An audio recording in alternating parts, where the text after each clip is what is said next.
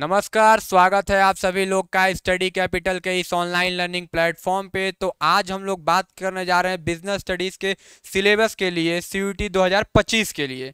तो आइए एक बार युद्ध में उतरने से पहले अपने रणभूमि के बारे में जान लेते हैं कि आखिर हमारा जिस युद्ध में हम जा रहे हैं, उसके क्या क्या रास्ते हैं, किस रास्ते से हमें जाना है। तो आइए डिस्कस करते हैं बिज़नेस स्टडीज़ के सिलेबस को, जो कि हमारा सी यू के लिए है। तो सबसे पहले अगर बात करें पैटर्न की तो पैटर्न सबको पता है कि यहाँ पे 50 क्वेश्चन आने हैं और करने होते हैं 40 अटेम्प्ट करने होते हैं। और अगर आपने सही किया तो आपको प्लस पाँच मिलता है और अगर गलत किए तो आपका माइनस एक होता है। ये तो भाई रही बात पैटर्न की। अब वहीं अगर बात करें सिलेबस की तो सिलेबस क्या है? तो आपका सिलेबस दो भागों में बटा है, पार्ट ए, पार्ट बी, ठीक? तो पार्ट ए जो है वो मैनेजमेंट के बारे में है और पार्ट बी में कुछ अलग चीज़ें हैं, जैसे फाइनेंशियल मार्केट वगैरह। फिर उसके बाद अगर सिलेबस ध्यान से देखें तो सबसे पहला जो हमारा चैप्टर होता है वो है nature and significance of management ठीक है, यहाँ पे हमें मैनेजमेंट के बारे में जानने को मिलेगा पहले चैप्टर में, जिसके अंदर हमें क्या क्या कवर करना होगा कि मैनेजमेंट का कॉन्सेप्ट क्या है ऑब्जेक्टिव क्या है इंपॉर्टेंस क्या है। ठीक है, उसके बाद नेचर उसका, उसके बाद मैनेजमेंट को as a science as a profession हम कंपेयर करेंगे। और उसके बाद लेवल ऑफ़ मैनेजमेंट की बात करेंगे, जिसमें top level middle level supervisory या फ़र्स्ट लेवल के बारे में बात करते हैं। फिर मैनेजमेंट के फ़ंक्शन की बात करेंगे, फिर planning organising staffing directing controlling ये अपने आप में चैप्टर है, जिसे हम आगे देखेंगे। बाकी इस चैप्टर में भी इसका थोड़ा सा, थोड़ा मोड़ा इस पढ़ना है, बाकी तो चैप्टर में डिटेल जानेंगे ही जानेंगे। उसके बाद कोऑर्डिनेशन जो सबसे इंपॉर्टेंट टॉपिक है, इस चैप्टर का, जिससे मैक्सिमम इस बार के जो जो पेपर हुआ था सीयूटी का, उसमें इस चैप्टर से टोटल चार से पाँच क्वेश्चन आए हुए थे, जिसमें कोऑर्डिनेशन के आपके तीन क्वेश्चन थे। कोऑर्डिनेशन से ही तीन क्वेश्चन थे। पेपर एनालिसिस में, फिर आगे अगर देखा जाए, आगे अगर देखा जाए हम लोग तो सेकेंड जो हमारा सेकेंड जो चैप्टर है, वो है principle of management principle of management देखिए मार्क्स के बिहार पे काफ़ी इंपॉर्टेंट चैप्टर है। वो इम्पोर्टेंट इसलिए है क्योंकि इस थोड़ा थोड़ा सा बड़ा चैप्टर है और इस चैप्टर में ज़्यादातर क्वेश्चन जो है हेनरी फ्योल और एफ़ डब्ल्यू टेलर के प्रिंसिपल से आता है।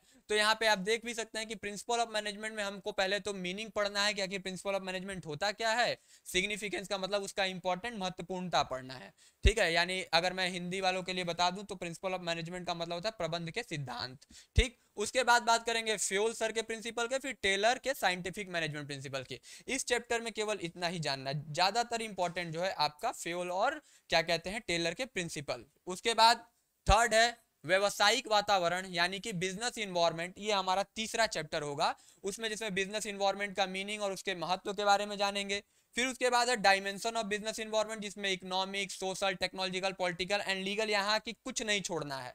उसके बाद है इकोनॉमिक इन्वायरमेंट ऑफ़ इंडिया उसका इम्पैक्ट पड़ा है इंडिया के ऊपर गवर्नमेंट पॉलिसी का। ये सब कुछ हम लोगों को बिज़नेस इन्वायरमेंट वाले चैप्टर के अंदर देखना है। फिर वही बात करेंगे अगर हम लोग अपने चौथे चैप्टर की, जो हमें बिज़नेस स्टडीज़ के पढ़ना है। अब यहाँ से थोड़ा चालू हो जाता है।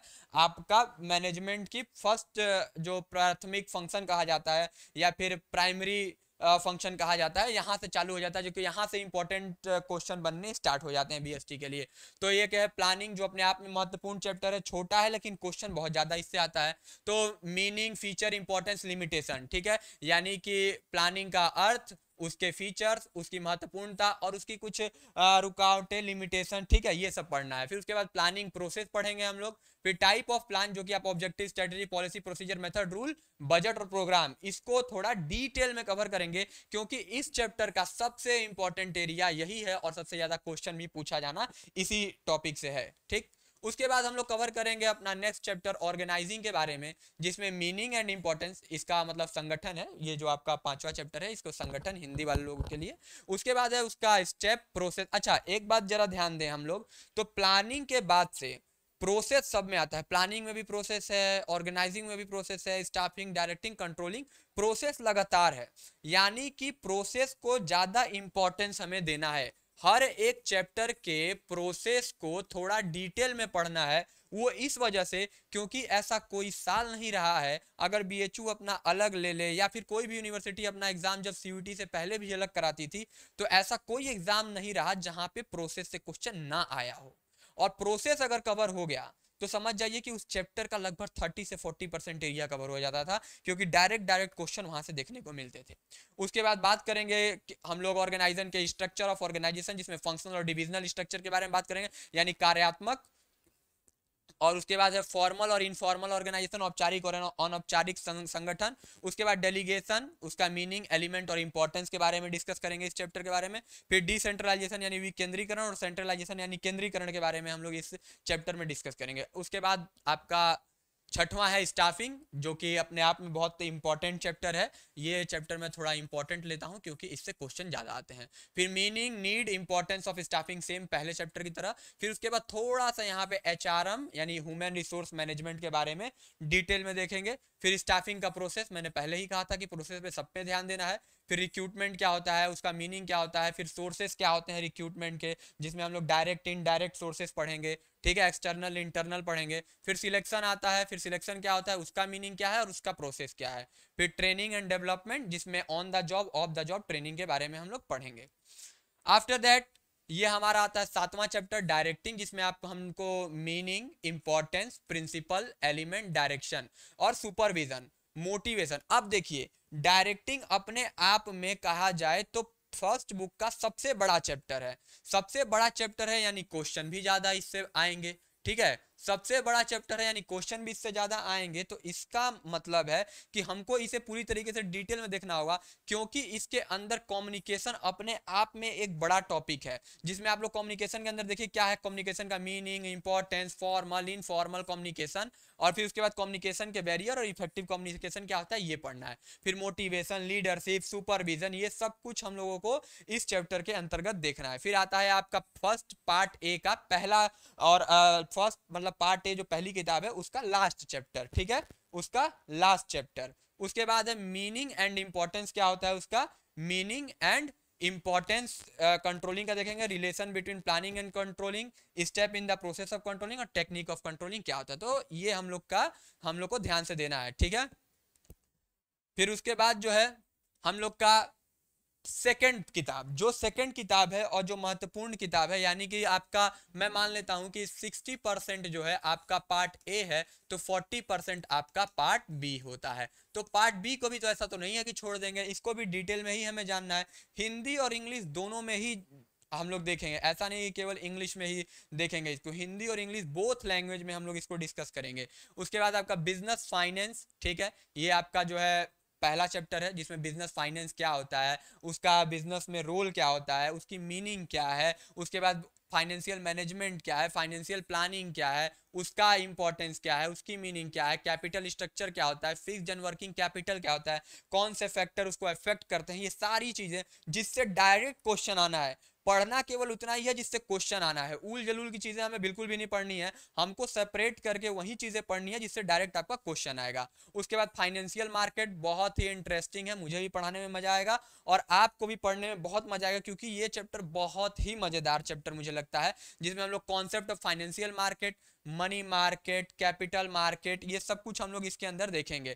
फिर उसका नेचर क्या है प्राइमरी मार्केट क्या है सेकेंडरी मार्केट क्या है, फिर उसके बाद कैपिटल मार्केट और मनी मार्केट के बीच का डिफरेंस क्या आएगा फिर स्टॉक एक्सचेंज क्या है? सिक्योरिटी यानी कि सेबी क्या है? सेबी का रोल क्या है?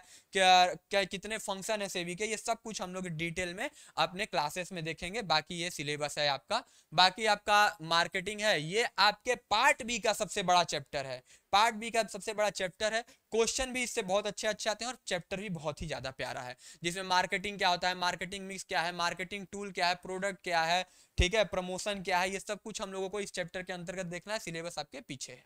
उसके बाद है हमारा कंज्यूमर प्रोटेक्शन इससे तो बहुत ही क्वेश्चन आते हैं। क्यों क्वेश्चन आते हैं? देखो मैं ये शुरुआत से मैं कह रहा हूँ कि कंज्यूमर प्रोटेक्शन एक चैप्टर अवेयरनेस टाइप का चैप्टर है। और ये अवेयरनेस फैलाता है लोगों के बारे में आ, मतलब कंज्यूमर के बारे में। तो इसका क्वेश्चन जानबूझ के ज़्यादा दिया जाता है कि बच्चे ने उसे तैयार किया है कि नहीं वो अवेयर हुआ है या नहीं।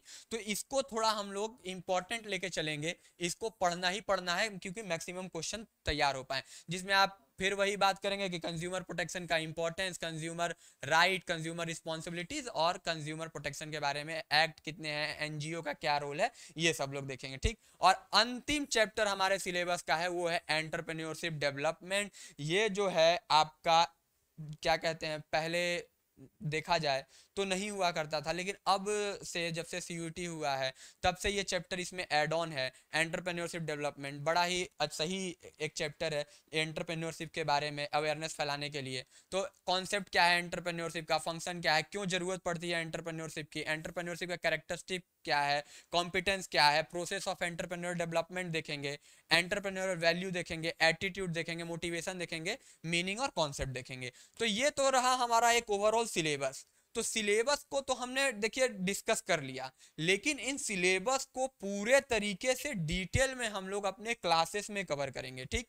जिसमें मैं आपके साथ जुड़ूँगा रोज यूट्यूब पे और जो बच्चे हमारे यहाँ पेड कोर्स ज्वाइन करेंगे, उनको और डिटेल में जो है जानने का मौका मिलेगा। तो आपको पूरी तरीके से डिटेल में जानने के लिए, पूरा सिलेबस एकदम डीप में कवर करने के लिए हमारे पेड बैच के साथ ज़रूर जुड़ें और यूट्यूब पे तो जुड़े ही जुड़ें। बहुत बहुत धन्यवाद।